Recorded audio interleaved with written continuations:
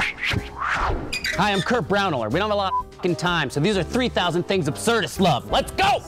Doll heads, releasing seagulls at a wedding, slicing up eyeballs.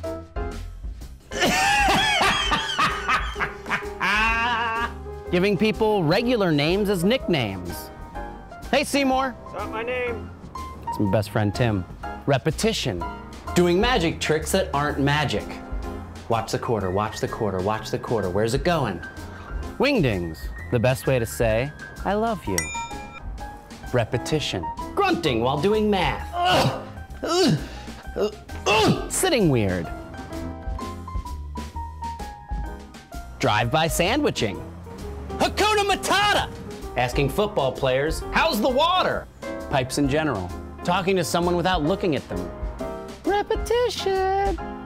With slight variation. Children's museums. What are they?